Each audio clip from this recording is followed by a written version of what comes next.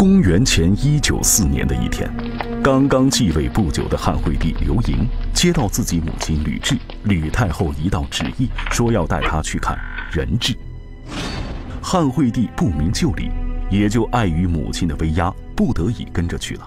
结果，汉惠帝就被带到后宫的一个厕所里，他看到了一个没有头发、眉毛、被砍掉手脚、挖掉双眼、戳聋双耳的女人。汉惠帝经询问才知道，这是父亲刘邦生前最宠爱的戚夫人。汉惠帝得知戚夫人被母亲如此折磨，竟然当场痛哭失声。他派人对吕雉说：“此非人所为，臣为太后子。”终不能治天下，意思就是能干出这样的事情的根本就不是人。我作为太后的儿子，已经无颜治理天下了。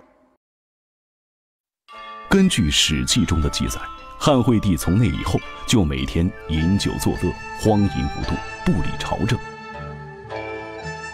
与此同时，汉惠帝还会想尽办法与母亲作对，甚至还想杀掉吕雉的左膀右臂。